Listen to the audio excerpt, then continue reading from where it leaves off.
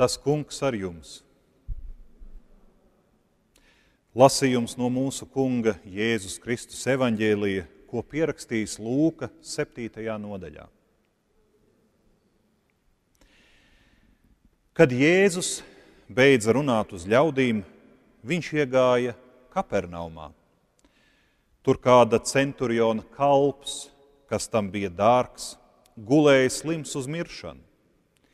Izdzirdējis par Jēzu, tas nosūtīja pie viņa jūdu vecajos ar lūgumu, lai viņš nāk un glābi viņa kalpu.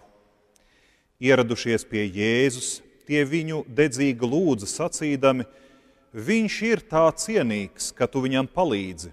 Viņš mīl mūsu tautu un ir uzcēlis mums sinagogu. Un Jēzus devās ar tiem ceļā.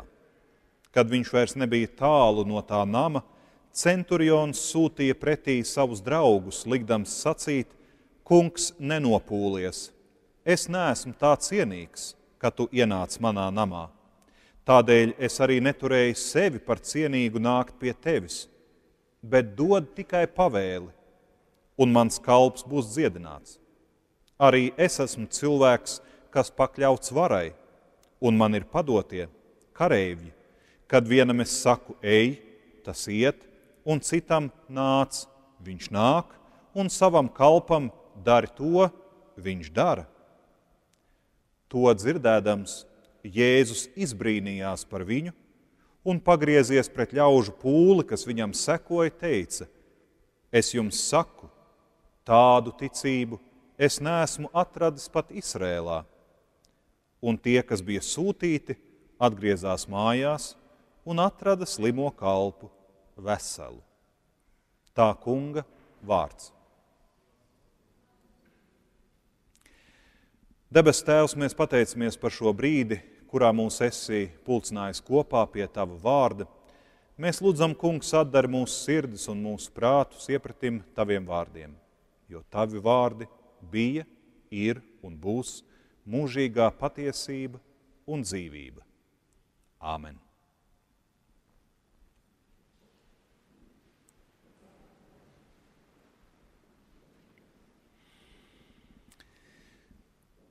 Cik reizes jaunajā derībā mēs esam redzējuši Jēzu par kaut ko brīnāmies? Es jums pateikšu priekšā tikai vienu. Tieši šajā reizē, izdzirdot romiešu virsnieka centuriona ticību un paļāvību.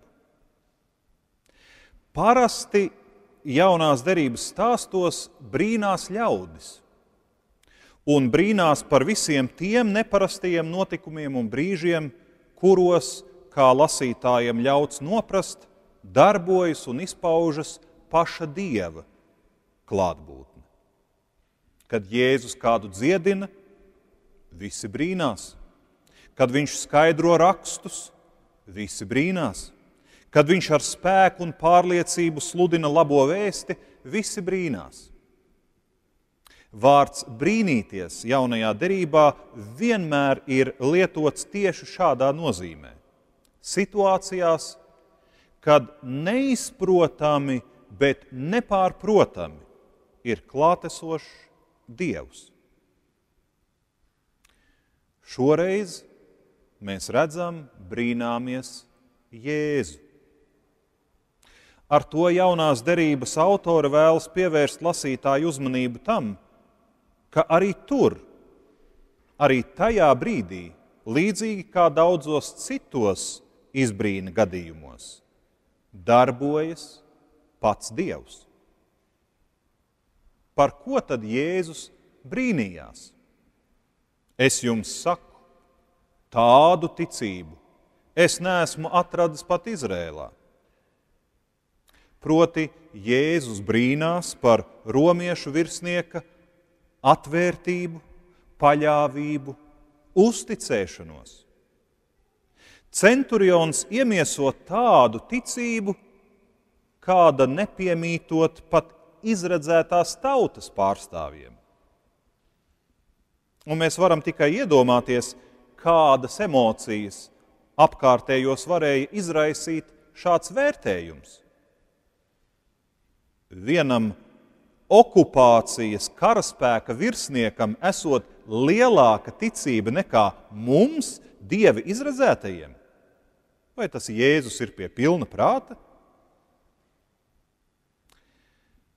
Kam tad ticēja? Uz ko tad paļāvās centurions?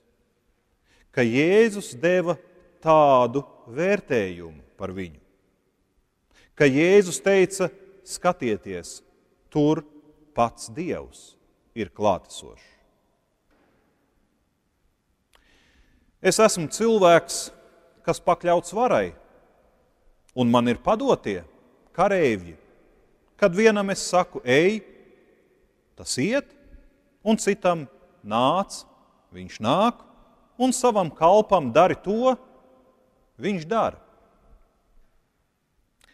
Citiem vārdiem, romiešu virsnieks labi zināja, ko nozīmē subordinācija. Viņš bija profesionāli trenēts to lietot un to atpazīt. Galu galā tas bija viņa maizes darbs. No subordinācijas īstenošanas burtiskā nozīmē bija atkarīga viņa dzīvība.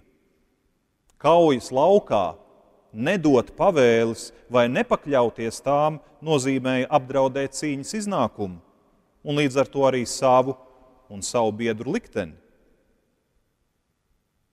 Lai gan viņš arī zināja, ka kopīgas lietas labad nereti ir jābūt gatavam savu dzīvību arī upurēt.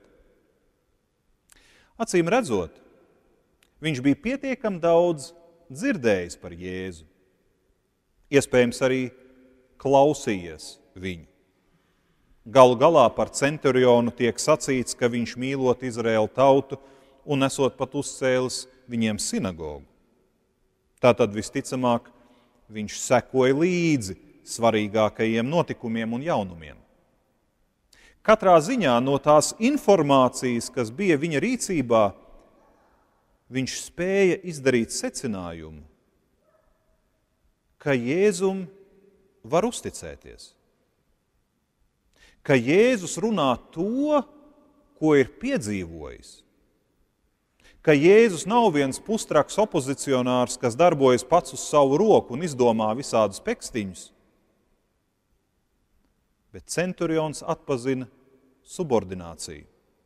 Viņš atpazina, ka tas, ko viņš redz Jēzu Kristu, ka tas ir kaut kas, kas ir autorizēts no augšienes, no Dieva. Tādēļ viņš teica, dod tikai pavēli, un mans kalps būs dziedināts. Redziet, mums šāda apusēja uzticēšanās un atvērtība starp Jēzu un centurionu šodien varbūt arī varētu likties nu, tāda pašsaprotama, ņemot vērā visu, ko mēs zinām, ko kristietība māca. Taču tolaik Tā bija milzīga uzdrīkstēšanās gan no vienas, gan otras puses. Jo, ja tā padomā, kādēļ, lai vispār viens romiešu karaspēka virsnieks varētu iedomāties, ka viens jūdu skolotājs, viens rabī, dziedinātu okupācijas režīma karavīru vergu? Kāpēc? Lai tādas domas vispār ienāktu prātā. Bet tādēļ šādas domas ienāca prātā, ka centurions juta, ka Kristus pasludinātajam dievam var uzticēties. Centurionam bija izjūta, ja nu šajā pasaulē ir kāds augstāks spēks, uz kura žēlastību var cerēt ik viens cilvēks, tad tas ir tas Dievs, kura tuvums bija jūtams Jēzu Kristu. Jūdu skolotājs Rabī vārdā Jēzus, kaut kā uzdrīkstējās par Dievu runāt pilnīgi citādāk nekā jebkurš pirms viņa. Un starp citu, šis jautājums ir nodarbinājis daudzu prātus jau kopš pašiem kristietības pirmsākumiem. Proti, vai Kristus sludinātais Dievs gadījumā nav pavisam cits nekā tas, kas atklāts vecajā derībā. Un laika gaitā ir bijuši teologi un domātāji, kur uzskatīja, ka tas tiešām tā arī ir, ka nemaz nevar būt citādi. Jēzus pasludinātais Dievs izskatās pārāk atšķirīgs no farizēju un rakstu mācītāju pārstāvētā. Taču patiesībā mēs zinām, ka Dievs ir viens vienīgs. Un ne jau viņa būtība vai viņa uzskati mainās, bet gan mūsu spēja viņu uztvert, izprast, mainās mūsu priekšstati par viņu. Un kā šķiet, teologs Ričards Rors ir sacījis, Jēzus nenāca mainīt dieva domas par mums, bet gan mūsu domas par dievu. nu vismaz centurionu Jēzus sludinātā vēsts ietekmēja. Ietekmēja tik spēcīgi, ka pats Jēzus nobrīnījās par Dieva darbu pie šī cilvēka. Un brīnījās noteikti arī pats romiešu virsnieks. Brīnījās par to, ko līdz šim bija dzirdējis par Jēzu, par viņa mācību, par viņa rīcību, par viņa attieksmi. Jā, jūdu centurionam noteiktās aprindās, piedošana romiešu centurionam noteiktās jūdu aprindās bija diezgan laba slava. Mēs redzam, kā jūdu vecie nāk aizlikt kādu vārdu par viņu. Politiskā vidē viņš bija diezgan labi ieredzēts. Galu galā sinagoga bija uzcēlis un nosponsorējis. Taču visi, ieskaitot pašu centurionu, labi apzinājās, ka lielākajam vairumam šis romietis iemiesoja visu ļauno, visu nešķīsto un svešo, ar ko asociējās Romas impērija. Viņš jau nebija vienkārši nelaikā, nez no kurienes uzradies svešinieks. Viņš bija okupants, viņš bija ienaidnieks. Ar pierasto tradicionālo izpratni apveltītie farizēji un raksturmācītāji par kaut kādu tur centurionu pat vārda pēc negribētu vispār neko nedzirdēt. Nelīdzētu ne viņa nauda, ne mīlestības apliecinājumi. Tieši tas jau arī liktos aizdomīgi. Viņš gribot mums uzcelt sinagogu? Ha, tā jau tāda vēlna viltība. Mūs tik lēti nenopirks. Nešķīsta nauda no nešķīsta cilvēka. Gan Dievs viņu sodīs. Un pat ja sinagoga arī tika uzcelta, un varbūt pat darbojās, daudziem tas noteikti bija par apgrēcību, un nekāda nebija savienojama ar viņu paštaisnību un etnocentriskajiem uzskatiem, priekšstatiem par Dievu. Taču Jēzus personā, romiešu virsnieks, atrada līdzjūtību un sapratni. Jēzus pasludinātais Dievs aizvien bija tas pats, taču lielākā daļa bija aizmirsuši kādas būtiskas patiesības par savu radītāju. Un Jēzus to vēlējās atgādināt. Šo izpratnes un domāšanas maiņu mēs uzskatām, varam redzēt pie apakstuļa Pētera, kur kalpošana aprakstīta apakstuļa darbu grāmatā.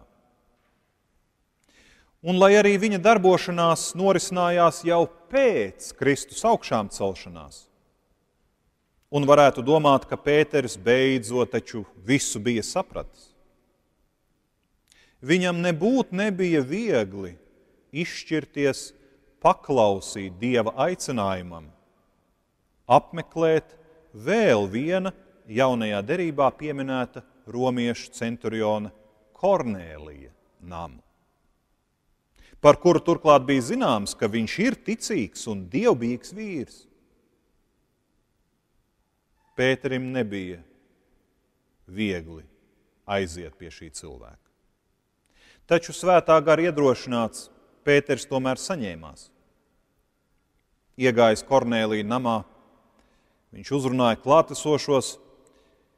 Jūs zināt, ka jūdiem nav atļauts sajieties ar sveštautieti vai ieiet tā mājā.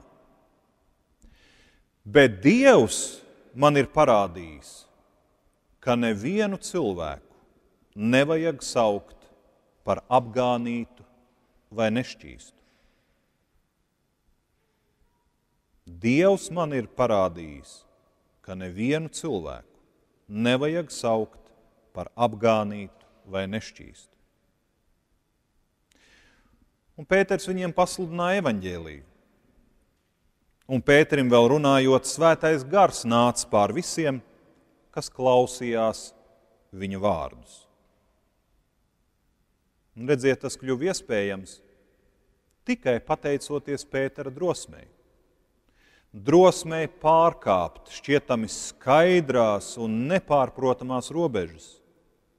Drosmei uzlūkot tik vienu cilvēku kā dieva radītu, un tādēļ vērtīgu, lai dāvātu mīlestības attieksmi arī viņam. Kāds menonītu baznīcas mācītājs Amerikā ir izteicis atziņu, ka katru reizi, kad mēs izmantojam reliģiju, lai novilktu līniju ar nolūku atstāt kādus cilvēkus ārpusē. Jēzus nostājas kopā ar tiem cilvēkiem līnijas otrā pusē. Katru reizi. Un šai atziņai nevar nepiekrist. Manuprāt, tā izsaka Jēzus sludinātā evaņģēlīja būtību. Un jaunajā derībā nevienu, nevienu pašu reizi mēs neredzēsim, ka būtu noticis otrādi. Ja vien bija kāds cilvēks, ja vien bija kāda cilvēku grupa, kuru pārējie, piesaucot dievu, piesaucot ticību, ētiku, šķīstību, no sava vidus izslēdza, Jēzus nostājās to cilvēku pusē izslēgto cilvēku pusē. Neko nejautājot, neko neizmeklējot, neko no šī cilvēka neprasot. Vispirms vienkārši nostājās viņa pusē. Un kā mēs no evaņģēlijas stāstiem noprotam, no sabiedrības vairākuma viedokļa tie cilvēki nebūtu nebija nevainīgi. Tās bija prostitūtas, tie bija dzērāji, tie bija muitnieki, tie bija spitālīgie, tie bija tie, par kuriem pārējiem likās, tie ir pelnījuši būt līnijas otrā pusē. Sapratīsim pareizi, Jēzus tā darīja ne jau tādēļ, ka viņam vienkārši patika kaitināt farizējus, rakstu mācītājus un jūdu valdības vīrus. Tā bija viņa pārliecība. Tas bija viņa principiālais vēstījums. Proti, Dievs, Dievs nešķiro cilvēkus. Dievs visus uzlūko kā savus bērnus. Tādēļ tāpat ir jārīkojas arī mums.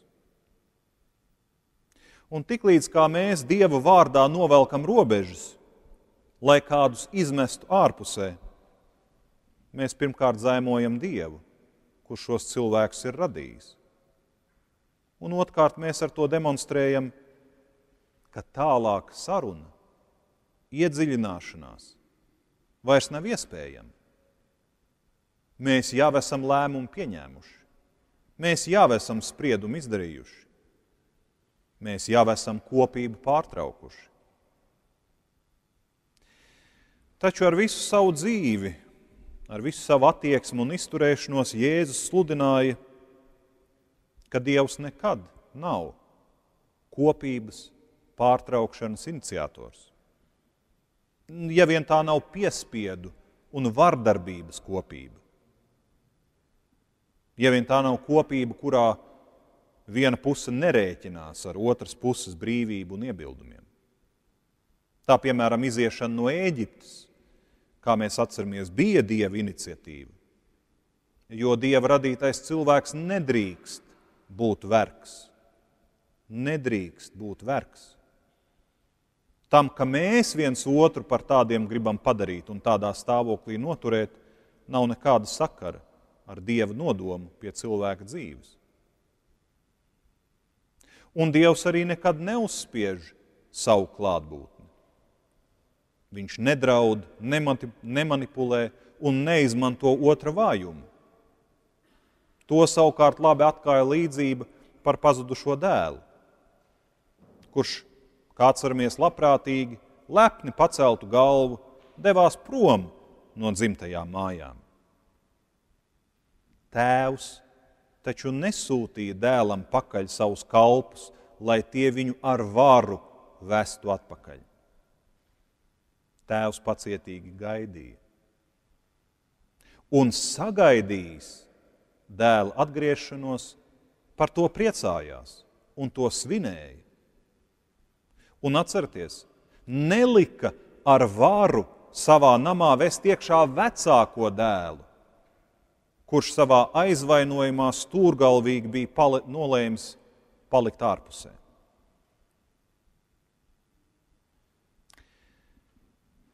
ja kāds kādu izslēdz, Dievs vienmēr nostājas izstumtā pusē. Jā, romiešu centurions, kurš lūdza Jēzus palīdzību, pārstāvēja okupācijas armiju. Taču sapratīsim pareizi, viņš komandēja tikai apmēram simt vīru lielu grupu. Ne jau no viņa bija atkarīgi lielie kā mēs šodien sacītu, globālie procesi. Jēzus acīs viņš vispirms bija Dieva radīts cilvēks. Cilvēks, kurš izjuta uz savas ādas nosodījumu, naidu un nicinājumu. Un kādēļ? Tikai tādēļ, ka darīja savu darbu, bija pakļauts subordinācijai un pildīja pavēles. Bet varbūt tieši tāpēc, ka viņš zināja, kas ir subordinācija un atpazina to. Varbūt tieši tādēļ viņš intuitīvi juta, ka viņam ar šo neparasto jūdu skolotāju, ar šo rabiju, ir daudz kā kopīga. Arī Jēzus bija nesaprasts, nepieņemts. Arī viņš darīja to, ko apzinājās kā savu tiešo uzdevumu - mīlēt cilvēkus un nostāties līdzās katram, kuru kādi grib izmest ārpusē. Tas ir evaņģēlijs. Āmen!